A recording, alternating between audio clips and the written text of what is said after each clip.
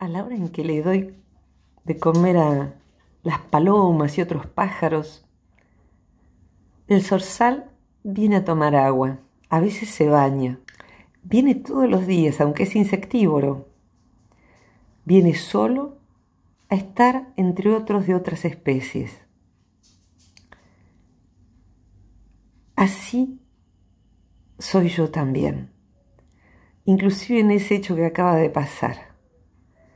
Alguien le dice no perteneces y lo expulsó. Ese es nuestro bebedero. Vos sos diferente, sos de otra especie.